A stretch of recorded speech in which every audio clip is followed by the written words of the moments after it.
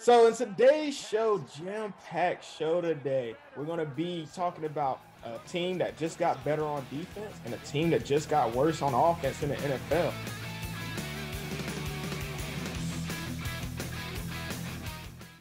Welcome back. It's Aaron Moses, also known as King, and I'm here with Taylor. How has everything been going, Taylor? It's going good, Aaron. How are you doing? I'm doing great. You're out there in Minnesota. Tell us about how good that defense has just got. Well, that defense has definitely got better now. Back in 2020, their defense was dreadful, but now they have really shored up their defensive line with some key additions and key players coming back from injuries from last season. The Minnesota Vikings defense was ranked 27th in total defense in the year 2020. One of the major causes of that was how bad their defensive line play was. This year they will look to rebound as they will have Michael Pierce and Danielle Hunter coming back after not playing in 2020. Then they also signed Dalvin Tomlinson and Sheldon Richardson to shore up the D line as they try to return to their 2019 form where they ranked top 15 in total defense and opposing QBs like Aaron Rodgers feared their defense. You know, our guys in the front office have done an outstanding job. Um, you know, it's probably going to be look completely different on the defensive side of the ball than it did last year with uh, the guys coming back and the additions that we made. And um, so, you know, I am excited about that. Yeah. Speaking of Aaron Rodgers, he didn't show up to Packers mandatory camp. Money is no issue as he could be potentially fined $93,000. Wish I could miss camp and be fined $93,000. Aaron Rodgers in his career as a Green Bay Packer completed 65% of his passes in 2020, having his highest completion rate rating of 70%. 51,000 total yards, 412 t- touchdowns, and 89 interceptions. This, this is also a man who went to non-playoff appearances and also non-Pro Bowl selections. Aaron Rodgers will be missed, but we get to see more of Jordan Love in this upcoming season.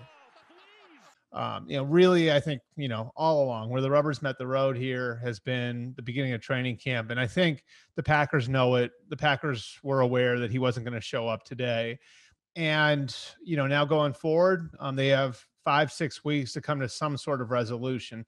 Upside here, I guess, is that you get to see Jordan Love for another couple days. Next on Full Sail Live, Hawks versus the 76ers, and then Kevin Durant dominates against the Bucks. Welcome back to Full Sail Live. I'm Taylor Misun, and I'm joined here once again by Aaron. And the Hawks, they looked pretty good last night. Yes, the Hawks look good. A 26 point lead comeback, one of the biggest in playoff history. Let's get to these highlights. Hawks taking on the 76ers in Philadelphia. Winner gets a massive advantage in the series. In the first quarter, Ben Simmons gets the ball, slams it down. The Hawks are trailing big early on in this game. In the fourth quarter, they're trying to make a comeback, and Gallinari nails the triple. The Hawks' comeback has begun. And then later on in the fourth, Seth Curry knocks down the jumper.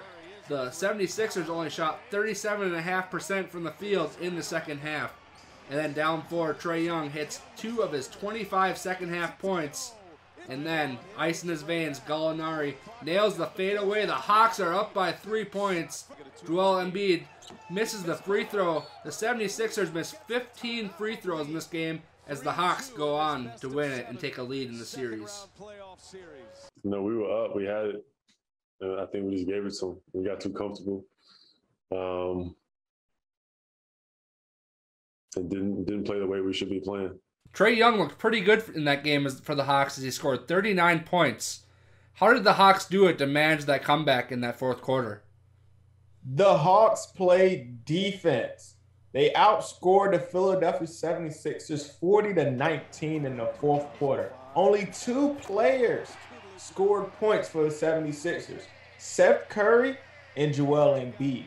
The hack of Ben Simmons worked and it helped spark a 26 point comeback. So looking forward, if the Hawks win and they win again, uh, game six or game seven, and win the series, and they have to face possibly the Nets, how do they face up against someone someone like Kevin Durant? There's no facing somebody like Kevin Durant. Kevin Durant is a man amongst boys. Did you see what he did? 49 points, 17 rebounds, and 10 assists. Mind you, he played all 48 minutes. James Harden was on the court, but he was no factor. Kevin Durant put this team on his back. One of the best shooters in NBA history has came, and he showed y'all that he can put a team on his back. He doesn't need Westbrook. He doesn't need Klay Thompson. He doesn't need Steph Curry. All he needs is a gym, the ball, and a jump shot. Thank you for watching our show on Full Sail Live. I'm Taylor Misun. You can follow me at 7misun on twitter.com. And Aaron, it was great working with you today. Oh, yes, Taylor. It's been fun. We'll definitely have to do this again. I'm Aaron Moses, also known as King, and you can follow me on Twitter at Kings Realm ATL.